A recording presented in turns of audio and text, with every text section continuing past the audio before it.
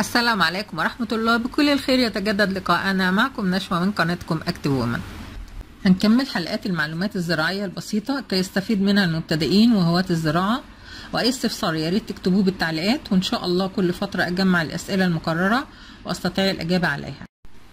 بالنسبة لري النبات بالسماد سواء الكمبوست السائل أو المحاليل المغذية هنروي مرة كل أسبوع أو كل أسبوعين ونروي النبات عطشان عشان يمتص النبات أكبر كمية من هذه المحاليل. لو الشتلة اشتريناها بكيس خاص بالزراعة اللي هو الكيس اللي بيبقى أسود وسميك شوية لابد من فتحه من الأسفل على الأقل أو إن إحنا نتخلص من الكيس بالكامل. كي لا يحتبس ماء الري به ولا يستطيع تصريف الماء فيتعفن النبات بالكامل. كمان الجذور مش هتقدر تمد فيه بسهولة. آه لما نيجي ننقل الشتلة نحرص على نقل الشتلة محاطة بجزء من التربة المزروعة فيها.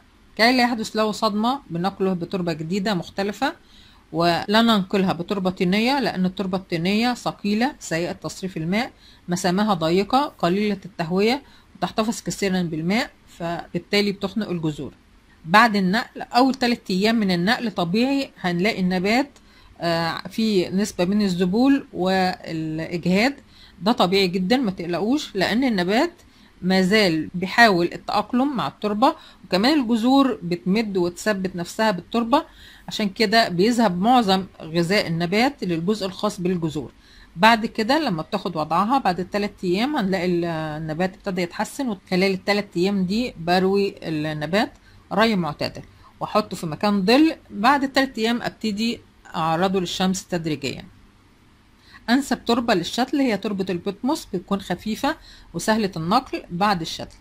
بالنسبة للنبات إذا أردنا نقل أي شتلة بعد شتلها بأكواب الشتل أو أكواب ورقية أو بلاستيكية أو أي أي شيء بنشتل فيه نضع النبات بين أصابعنا ثم نقوم بقلب الكوب أو القصيص ونخبط عليه فتخرج الشتلة بسهولة.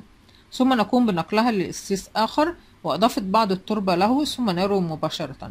ببداية إنبات أي بذر أو أي شتلة لا تحتاج لأي شيء سوى ماء الري. بعد الإنبات ممكن ننقلها لتربة مسمدة ونراعي عدم ملامسة جذور النبات للسماد يفضل وضع السماد أسفل التربة وخلطه ببعض التراب ولكن لا يوضع السماد على سطح التربة حتى لا يأذي الساق ويحرقها.